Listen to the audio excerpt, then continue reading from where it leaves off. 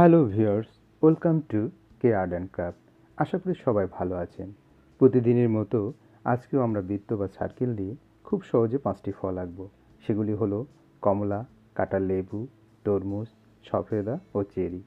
বৃত্ত দিয়ে খুব সহজে ড্রয়িংয়ের দশটি এপিসোড আর শেষ হলো। আপনাদের ভালো লাগা আমাকে এত দূরে নিয়ে এসেছে।